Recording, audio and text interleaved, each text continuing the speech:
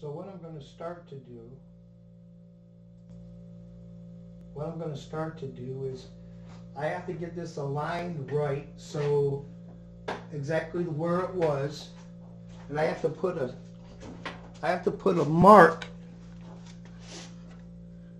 I have to put a mark somewhere on the frame up here to give me some sort of location of where the mirror was and the angle of the mirror and how far I have to move over to the left and drill holes. And I'm probably going to have to loosen up the tube also, so...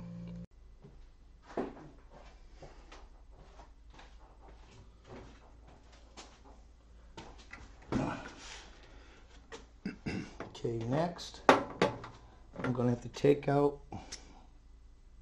the old combiner. Put the new combiner back in.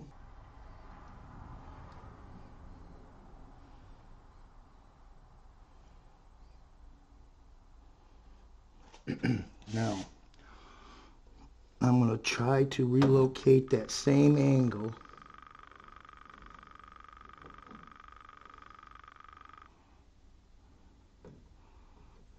Yeah.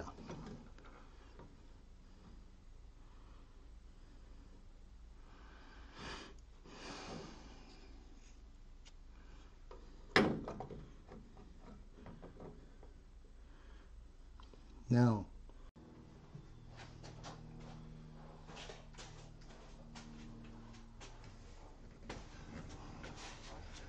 okay guys, this is what I have so far. I got it perfectly straight on that line between the two holes. I had the new beam combiner bracket on there and it lined up with that mark that I put on there in the beginning. So what I have to do now is mark these holes where I have to drill them.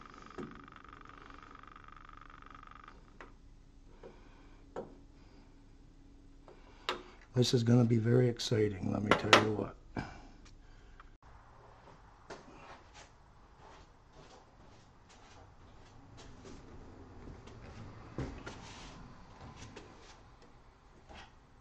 Okay guys, so what I'm going to have to do is I'm going to have to drill and tap this out for a 3 millimeter screw. So here we go.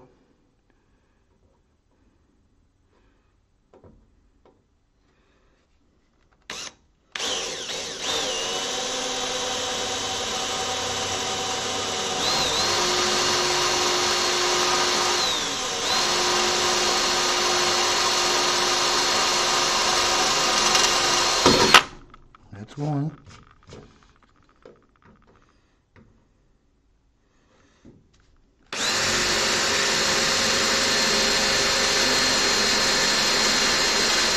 That's two. Glad there's nothing behind there to hit. okay, now we're going to take a three millimeter tap and we're going to tap these out.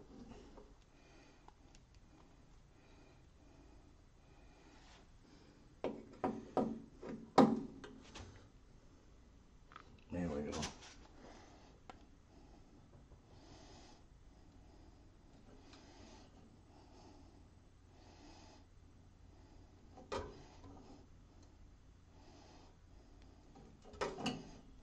Glad it's nice and thick so there's some meat in there to grab onto.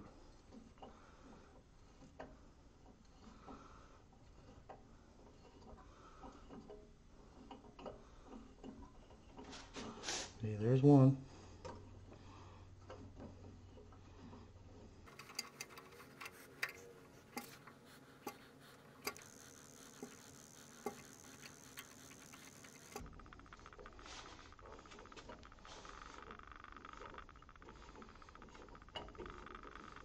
There's the second one.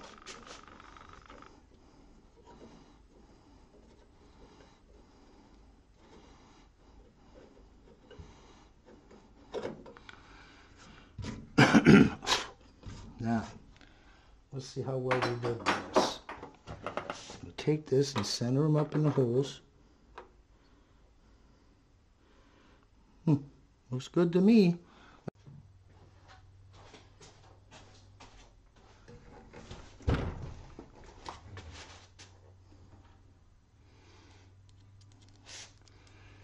My fat fingers in there.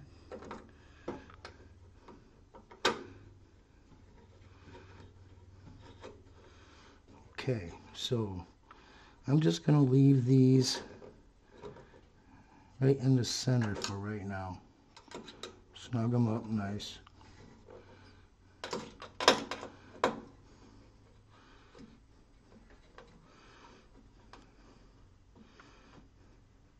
Now that supposedly was the easy part.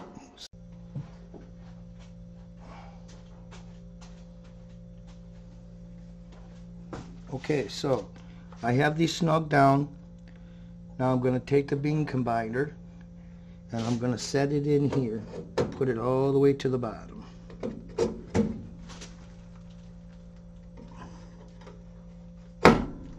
Okay, now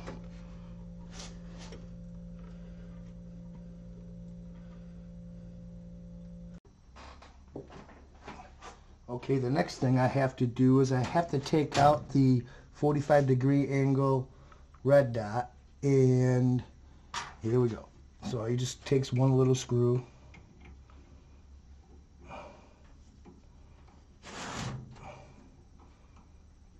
Okay, and that comes right out.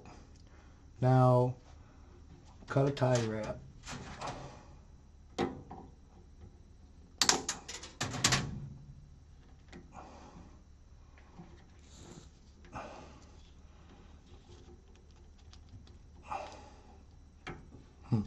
There we go. Now, I know for a fact that this is just not going to go through there. And I am not going to take apart this snake thing, wire track, just to get that out. So what I'm going to do is I'm just going to snip it. Hold your breath.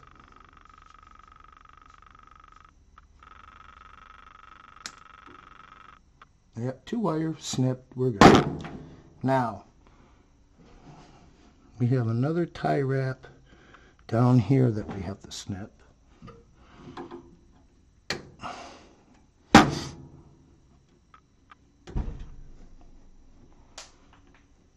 Okay.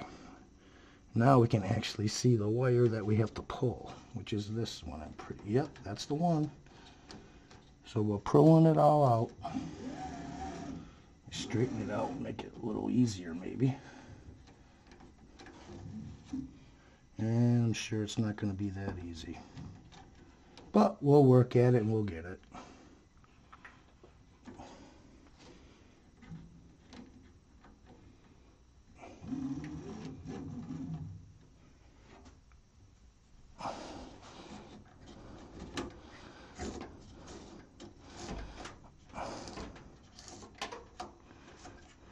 And there it is, simple and easy. Now, I have to get it to the back of the machine.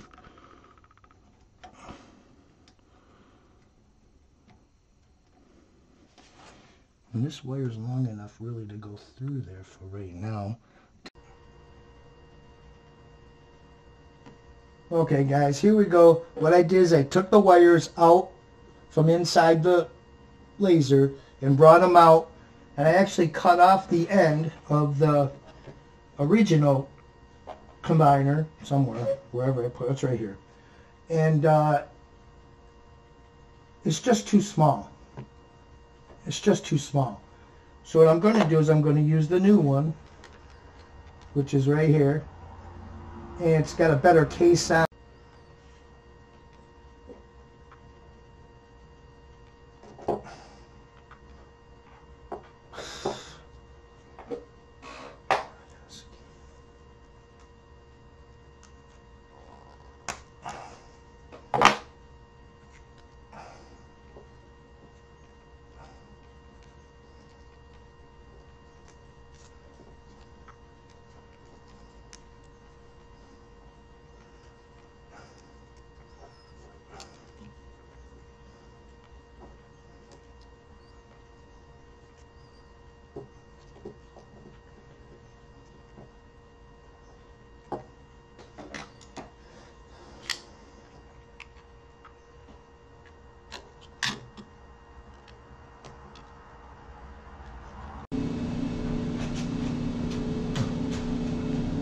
Okay guys, what I have here is a Cloudray laser red dot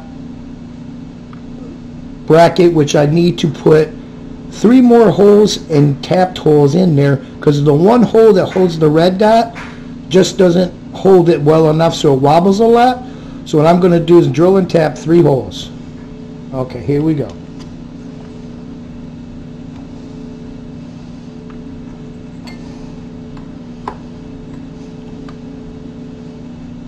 I've already found center this way. Now I just got to bring it over to find center on the lengthwise.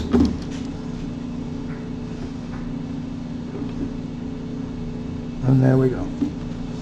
I'm using a center drill so I can get a good centered hole in the piece.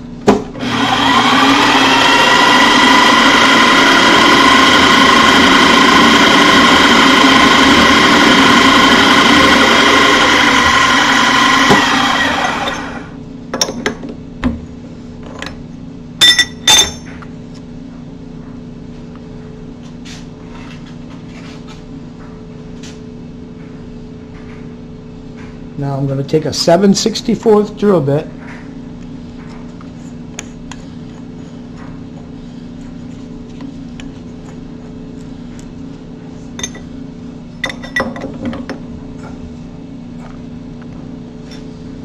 We're going to drill all the way through so we can drill through two holes at once.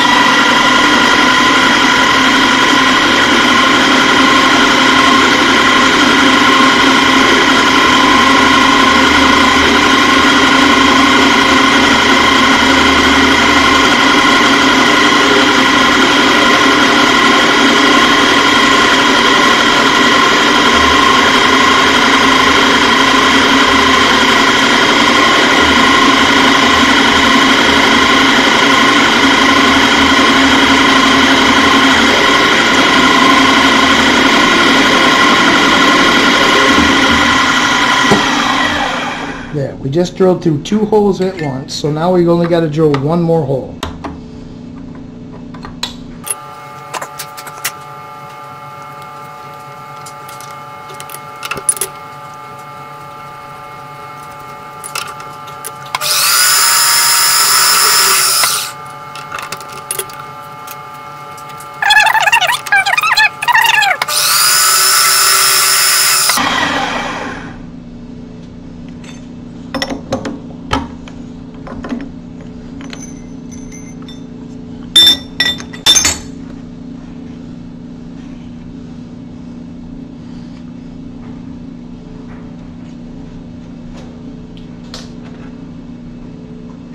Now I'm going to take a number three tap and hopefully I don't snap the tap. it's not the first time that's happened.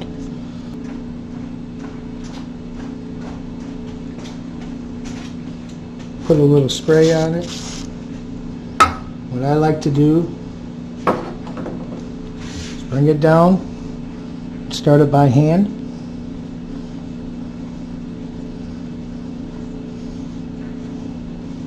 And once it's started, what I like to do is start the tap by hand with the chuck.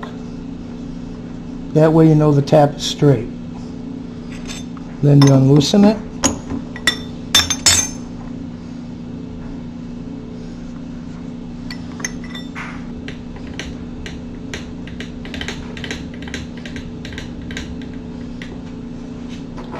Use a tap handle. Tighten it down. Start tapping it.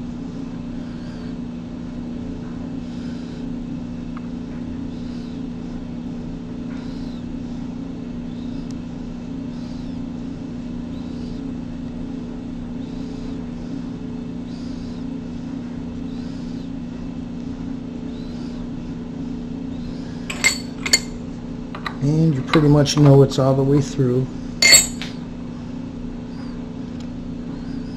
It's getting there. So we'll just finish it. Doesn't take much once it gets started. And there you go. And we will repeat the process for three other holes. Okay guys, here is the Cloud Ray beam combined beam combiner red dot mounting bracket. Um, it came only with one hole and I proceeded to put a threaded holes in all four corners. So we'll start with the original one. Screw it in.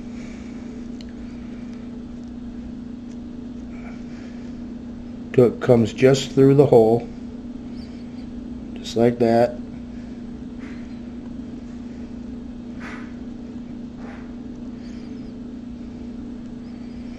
And then we'll put the new ones in.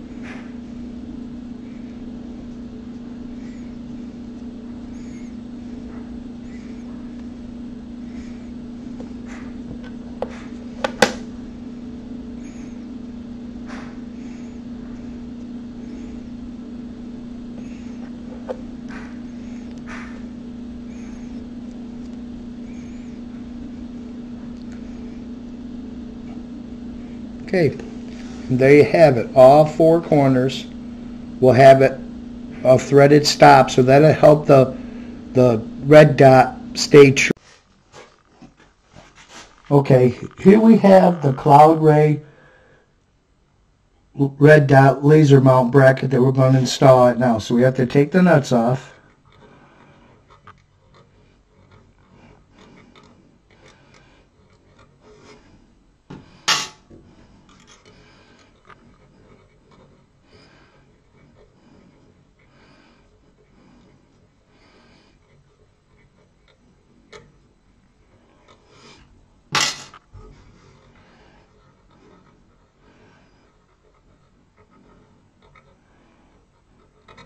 Okay, now we have to reinstall the bracket the same way that it went on.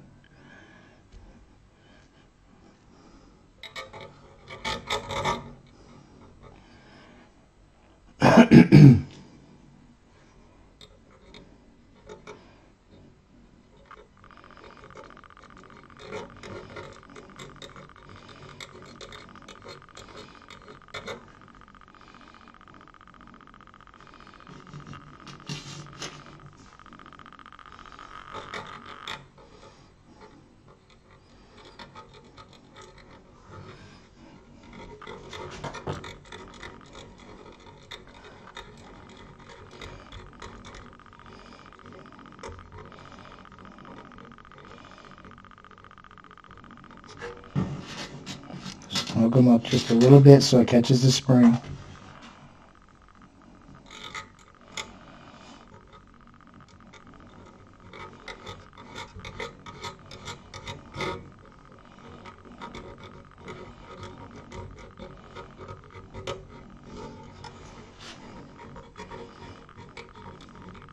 Give Giving a little bit of tension on both all three ends.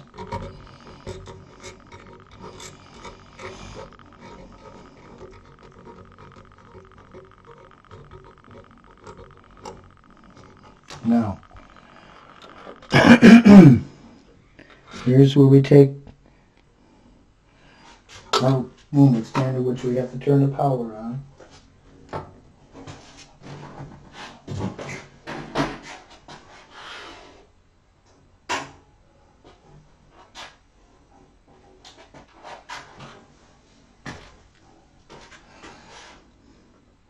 And the other side. Sorry.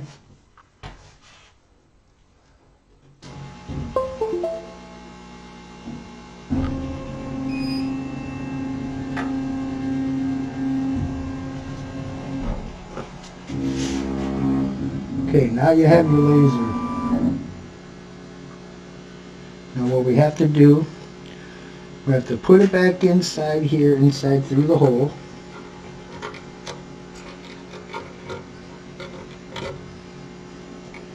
And we're going to put it just about like so, flush.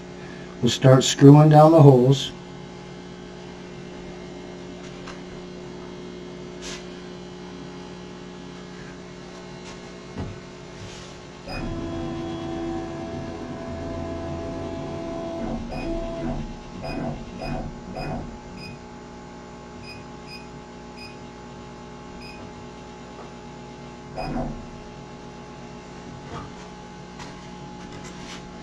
And we'll start tightening down this expand the all three screws.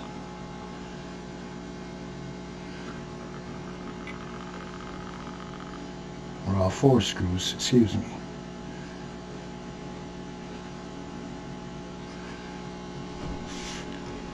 Now